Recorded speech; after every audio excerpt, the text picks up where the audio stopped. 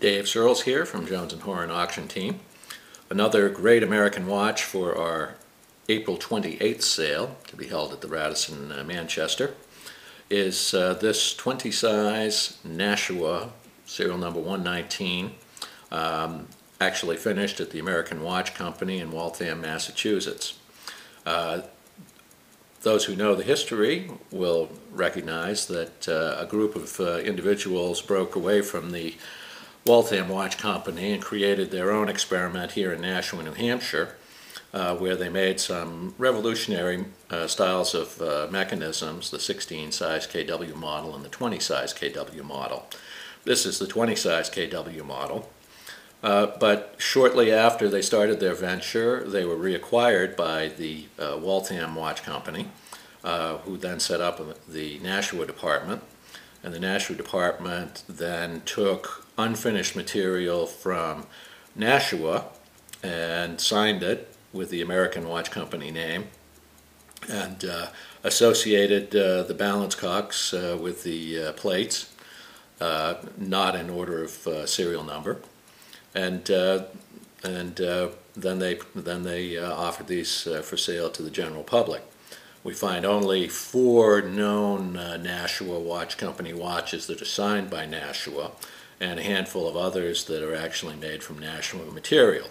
So how do we know this is a Nashua watch? We know because under the dial there's a special kind of circular cutout in the plate that carries the lower train. Uh, that is something that's seen only in Nashua production, but not in the later 20 size production by Waltham Watch Company. Uh, the second thing we see are Nashua numbers.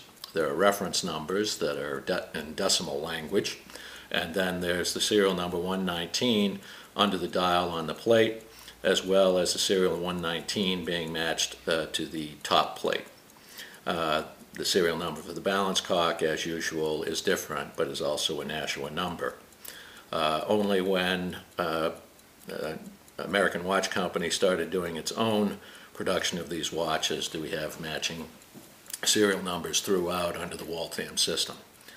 At any rate, it's a wonderful early example. Uh, the uh, American Waltham number is 50,091, and uh, it has the 19 jewel mecha uh, the 17 no I'm sorry the 19 jewel mechanism with capped escape wheel and uh, it's just a, a, beautiful example now this mechanism was found here in New Hampshire uh, and was uh, all by itself uh, for many years having been separated from its original case but the collector who obtained it found this wonderful 20 size KW model Waltham case uh, by an independent maker, not made by Waltham Watch Company, but made exactly for the model.